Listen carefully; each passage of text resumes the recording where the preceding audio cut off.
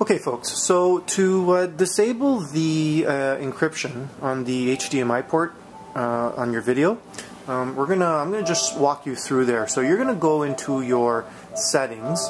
Now you're only gonna find this in the latest update as of 7. Dot, uh, sorry 1.7. Okay. Now there's it's up to 1.71 the firmware, PlayStation firmware, but if you update it to the latest one, you go to settings and you go to system, you'll see enable HDCP. Okay, that is the encryption. Okay, and you want to take that off.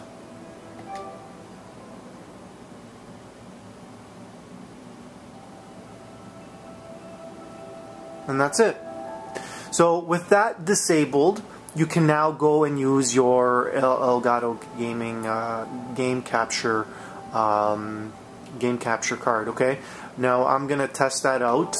Um, so yeah, uh, hopefully it works. Again, I uh, it's, it's, I'm testing it out. I don't know if I'm able to capture menu play, um, but I know this this issue has been addressed, so you can capture game capturing. Okay, so we're gonna test it out and uh, see how it goes.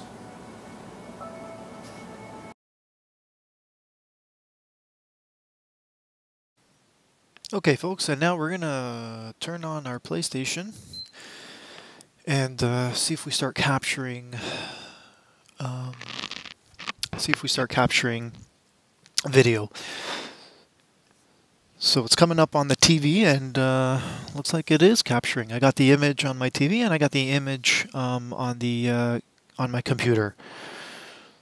So looks like we can definitely start capturing um, from the cross menu. Um, yeah, so there you go, folks. It works. Now, I don't have any games installed, but um, because I am just getting this set up now. So what I'll do is uh, we'll get uh, we'll get something set up and see if I can uh, just capture a few a, a minute or two of a game just to get this going. Now here's a quick question to those of you who are probably asking yourself, could I possibly record Netflix um, with your with the Elgato capture card? And I'll tell you right now the answer is no. And, uh, and I'm going to show you why. So I've got Netflix installed. Okay, and I'm going to select it. Now check that out. Settings, you got to turn you have to re-enable the uh, HDCP, the uh, the uh, video encryption so um, so there you go. So it's kind of it's kind of smart that you can't uh, record uh, sources like Netflix and stuff. And I believe it works with Crackle as well. See that? So that hopefully that answer well that should answer your question about uh, capturing the uh, the streaming the streaming media sites for like from Netflix and Crackle.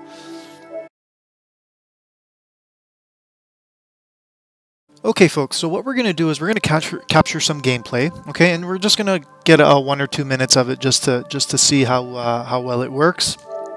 Okay.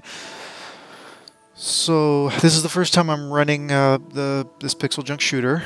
Um, the first time I'm playing it um, this, you know, uh, and again, this is just to get this thing going and, and uh, see how good it captures the the gameplay, which I'm pretty overly confident that it the Elgato game capture card is going to do a wonderful job as it has, as it has always done uh, in the past. Let's not waste our time figuring out how to play this game. As you can see, game capturing is working, and um, let's just let's just keep it at that. So we have capturing at the menu system, we have capturing in the game. The Elgato card is working just wonderfully, if I, if I do say so myself. Uh, all the options are there in terms of resolution in the in the software of the thing of the uh, application.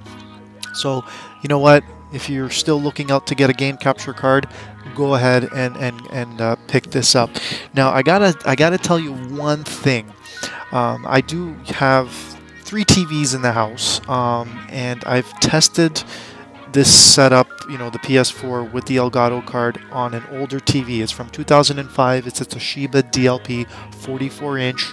Um, I was able to capture the content, but I was not able to get the the similar display on the TV. Okay, because if those of you that are familiar with the game Capture Card, it's a little box. You plug in your your PS4 into one end, and then on the opposite end, it goes to the TV. Well, the video image on the TV was not appearing. Um, I don't know why. I don't know if it's because it's an older TV and it wasn't compatible with something in the signal, um, but I have moved now to a newer TV, which is for it's a couple years old. It's a Samsung 55 inch, um, and again, it's two years old, and um, it's it. I got the image on the TV, and I'm capturing the image on the card. It's working wonderfully. I do have a third TV. It's a 40 inch um, Samsung that is about maybe three years, three, three to four years old. I have not tested it out on there, um, I'm just letting you know, just giving you a heads up. If you have an older TV, this setup may not work. Um, and I'm just telling you this. I haven't done any research into it as to why it doesn't work, but um, it's important that you guys know that you should do maybe take care of some additional research, um, some due diligence in terms of uh, if your TV supports it. And you know what? And if you get this stuff at your Best Buy, if it doesn't work, you can always return it uh, within the 30 days.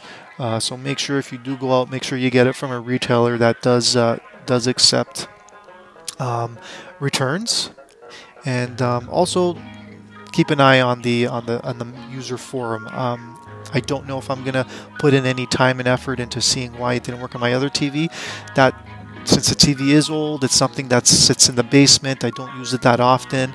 Um, so I don't know if I'm going to put any effort into finding a solution for that. So if you guys have questions about that, I may not be the best one to answer that for you. Check the Elgato uh, support support site. All right. Anyways, that's all for now, and ciao and ciao for now.